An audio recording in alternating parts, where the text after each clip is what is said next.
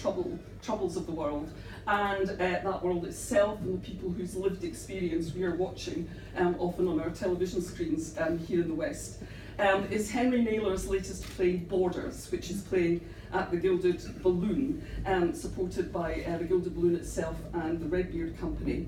Um, this is a play which is, is not part of Henry Naylor's um, previous trilogy about the Middle East, um, which finished last year with his wonderful monologue, um, Angel.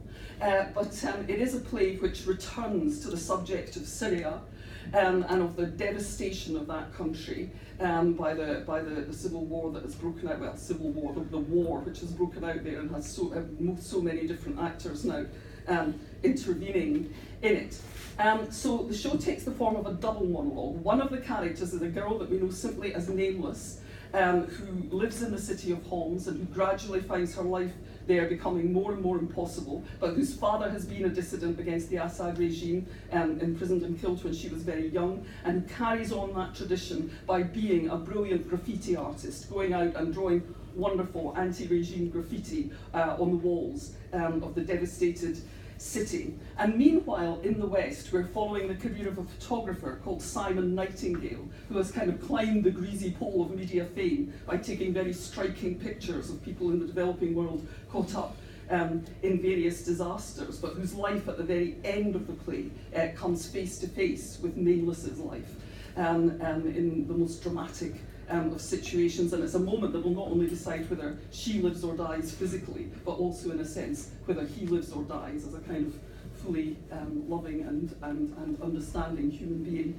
So it's a very, very powerful double monologue by Henry Naylor, who has made such a fantastic um, contribution um, to, the, to the Fringe over recent years. It's beautifully performed by Avital Lvova and uh, Graham O'Mara, and I hope that as many people as possible from the company come up. come on, all of you!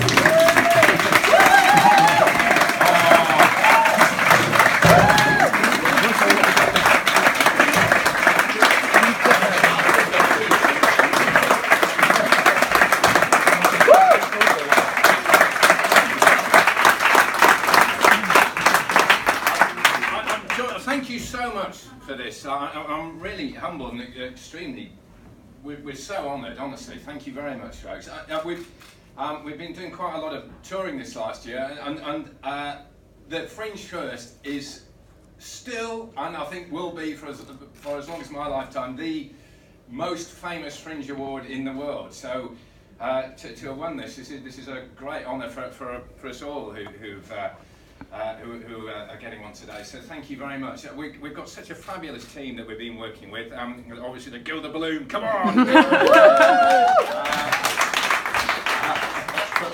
uh, in the engine room, my wife has, has just been terrific. But these two guys have just been wonderful. Uh, it's been lovely working with both Graham and uh, and, and uh, also particularly with Avital, who have been working with on Angel for the last year. I mean, um, for those of you who, who uh, know me, I mean, it's been a very tough year. Last year, um, the actress who's in our play called Angel uh, unfortunately died, and um, uh, it, so it, has been very difficult to, to actually to, to be able to come back here uh, and, and, and do a show, and with the support of you guys. Thank you so much. Uh, uh, sorry get a bit emotional. I didn't think I was going to do that. Um, uh, but uh, yeah, so so uh, bless you all and thank you so much for this. It's been been been wonderful. Thank, thank you.